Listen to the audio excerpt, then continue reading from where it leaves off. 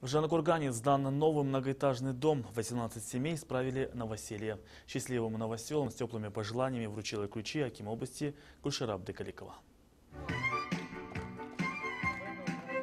В новом доме в микрорайоне Саяжан квартиры получили 18 многодетных семей и малообеспеченных семей. мен осы там кезегінде 2007 жылдан бастап Я стояла в очереди на жилье с 2007 года как многодетная. Сегодня нам вручили ключи. До этого жила вместе с родными мужа. бойынша В целом по республике есть ряд крупных программ.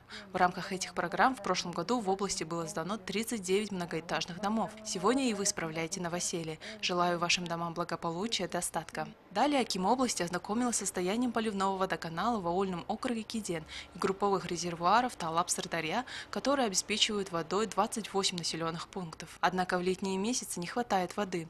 Нужны дополнительные скважины.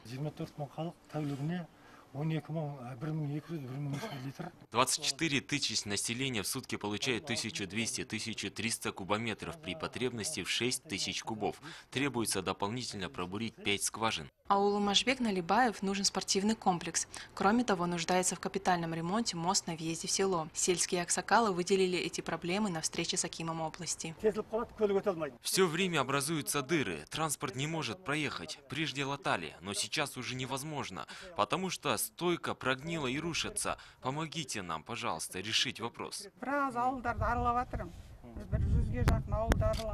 Во многих аулах побывала. Около 100 аулов посетила. Поставленные населением вопросы будут решаться поэтапно. Жанакурган район промышленный. Предприятие премиум класс строй производит 180 тонн извести в день. Часть продукции отправляется в соседний Кыргызстан. До конца года в районе будет запущена птицефабрика хозяйства Абдула мощностью 3,5 тысяч тонн птичьего мяса. А в Жаильме в самом разгаре посадка знаменитых арбузов. Амина Усенова, Акимжан Жолтаев, Бугимбай Абасилов, Турихан Хожахметов, телеканал Козлорда.